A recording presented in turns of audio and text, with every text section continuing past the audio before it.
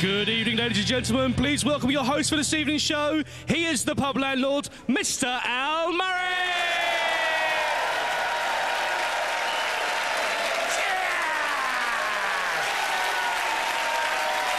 Yes! Good evening! Good evening and welcome to Edinburgh Beyond, or, as I would say if the Germans had won 60 years ago, Guten Abend und willkommen nach Edinburgh und Beyond!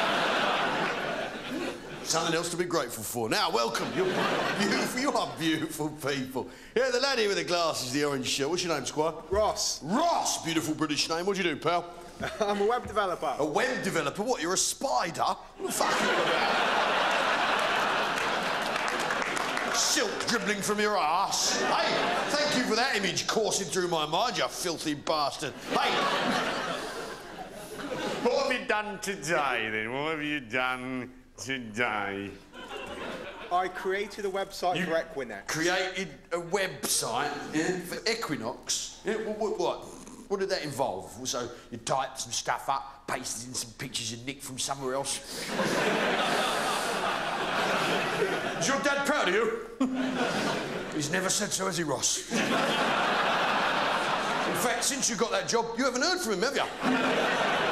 Good luck to you, pal. You're scruffy and I like you. Now, you, you are beautiful people. So Lanny here in an England shirt. God bless you, Squire. Hey, fucking fantastic. What's your name, pal? Spencer. Spencer?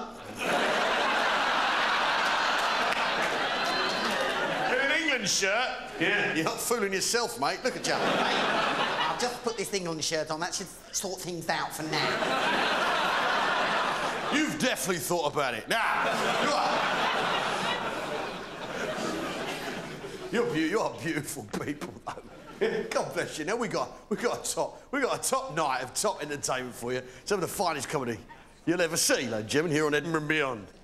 But who are our acts tonight? That's a good question, isn't it? Yeah? Isn't it? Spencer. You've definitely thought about it, silver jewellery. You disgust me. The point is. Well, the best way to describe these actors is high priests of comedy, true believers in the power of laughter, like Jimmy, disciples of merriment, apostles in the way, the truth, and the light, the temple of comedy that is the Paramount Comedy Channel. And lo, there were four acts who were at Edinburgh, and we did look upon those acts and we thought that they were good. And lo, their managers did hold out for too much money. So, yay, we found four other acts. who actually, actually, on balance, offered better value for money. And verily, and lo, verily, the first of these acts is an angel. Oh, yeah. Fantastic. Yeah, back pressure build up. It's been a year. So. so. Please show your appreciation now. Build it up for the opening act. It's Lucy Porter!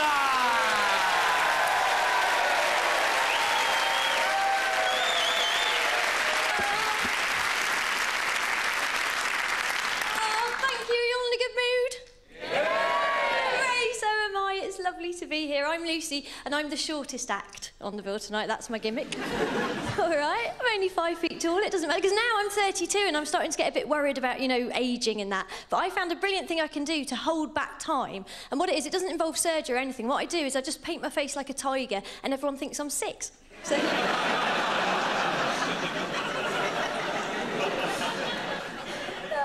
It is. What's nice as well is that because this is a nice crowd, and sometimes in comedy clubs we go around and we do gigs like. Uh, recently, it's been the sort of hen and stag night season in all the comedy clubs, and we've had. Like, I was doing a gig in Manchester like, a couple of weeks ago, and we had all these hen nights in. We had this one big hen night in from Liverpool, right, and they were lovely, but there was about 50 of them, and they were really drunk. Like even before the evening had started. You know, have you ever walked into a nightclub and just looked round and thought, my God, all the women in here have slipped rohypnol into their own drinks? You know?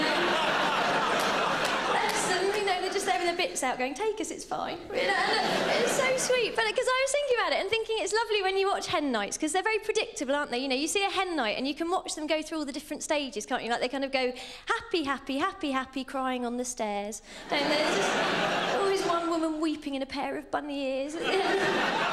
So, and she's got all mascara around her face and she sort of smells faintly of saliva and jism and oh, you know.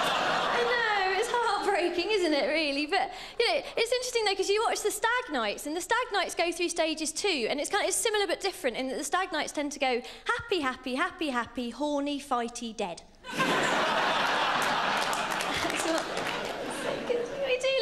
British people like drinking, don't we? Like, you know, there's all this stuff at the moment about 24-hour drinking. What, are we in favour of 24-hour drinking? there was one old lush who started before I'd even finished the question. Because it's interesting for me though, because I live in South East London, and it won't really make much difference round my way because we already have 24-hour drinking. Frankly, the only time the bell rings in my local is when it's time for all the kids to go to school. So, I, I haven't got any children. Um, I'm a childless person. I haven't got any children because I haven't met the right nanny. Um, but you know, I, I do. I really love children, but because I sometimes I wonder what would have happened if my life had gone differently. Do you ever do this? Like sometimes if I'm in a really nice area, like if you know those areas with like lovely big houses, sometimes I'll look at a big house and I'll kind of fantasize that I live because I live in a little studio flat. And I think, you know, would I be happier if I lived in a big house? You know, I don't know. Obviously, my life would have had to have gone differently. I haven't really thought it through. I mean, say I don't know if I was married to a doctor, um, you know, called Miles, um, you know, who, who's a really gifted surgeon but also writes beautiful poetry. Um, funny actually. We met. We were whitewater rafting in Arizona, and um, my, my canoe got into difficulties, and Miles lifted me out of the water with his big, strong arms. And then we married in Hertfordshire because that's where Miles's family are from. But we live in Hampshire now, and we're very, very happy. Uh, we've got two delightful children. Oh, we've got Tristram. Tristram's three, and he's such a naughty little scamp. He really is. And then there's Jonquil. Jonquil's only five, but she's already absolutely potty about ponies. We called her Jonquil after the flower because it's such a lovely shade of blue, and Jonks was born prematurely, so she was the same kind of colour when she came out.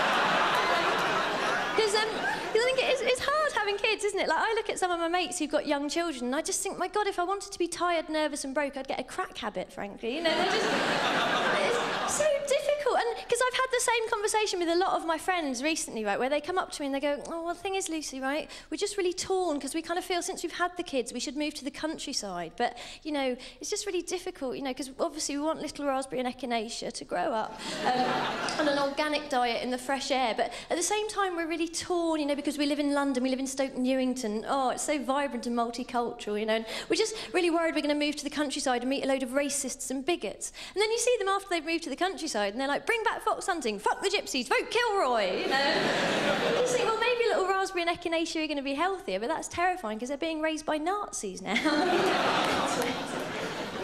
Don't get me wrong, I do, I absolutely love kids, but it is parents that I have the problem with. Like the other day, I was on the bus near where I live, and um, someone was kicking the back of my seat, right? And it was just a bit annoying. And so I turned around to see who was doing it, and behind me was. Well, what turned out to be a human child, um, but what at first glance looked for all the world like a pit bull in Burberry, frankly. Just, you know, this horrible little, probably about seven or eight, and it had a McDonald's Happy Meal, right? And it was kind of fisting this McDonald's Happy Meal into the bleak Stygian abyss of its gaping maw. And then, you know, and there was just this sound, and I couldn't tell whether it was the noise of the Happy Meal being ingested or the sound of my ovaries shrivelling as I looked at it, right? And, but, you know, but yeah, I- I'm not a mean person. I do love the children. I believe the children are our future. So I thought I'll be nice. And um, so I turned around and I said, "Look, sweetheart, I'm really sorry. Would you mind not kicking the back of my seat because it's a bit irritating, right?" That was all I said. And the, you know, I thought that was fine. But this turned out to be the cue for its mother, right? Who was a very pleasant-looking young woman, a bit orange, but you know, fine. but this turned out to be the cue for her to unleash this torrent of abuse at me. And she was going, "You fucking bitch! You fucking bitch! You've got no fucking right to tell my child off. My little Asbo's a lovely little boy. He's done nothing wrong, you know." And I was just, kind of, I was upset, but I was angry as well because I just thought, you know, you're one of these people who go on about your rights, but you've got no idea about your responsibilities, have you, to that child, to the rest of us? You know, you're bringing this child, and, and you're reading the Daily Star, so presumably you're one of these people who thinks we shouldn't fund HIV treatment for asylum seekers. But to be honest, I'd much rather pay for that than pay for treatment for the type 2 diabetes your child's inevitably going to feed it on shit. I hope it dies, right? Obviously, I didn't actually say that because I can't really express my anger and I don't like getting stabbed. But, uh, you know. I feel like I've shared, didn't I? You've been a lovely, sharey, lovely audience. Um, so, a lot of comedians like to end on a laugh, but I find that a bit of a cliche. Um, so, uh, what I like to do is just share a motivational quotation with my audiences. And the one I've picked for you is If you judge people, you have no time to love them, right? Which um, I thought was a lovely sentiment, but more importantly, I wanted to share those words with you because those words were said by Mother Teresa of Calcutta. And um, I actually think that we can all learn something from Mother Teresa. Um, and that thing is you've got to moisturise. Okay, just she was wonderful, she had skin like a scrotum, didn't she? So have a wonderful evening. Thank you for having me.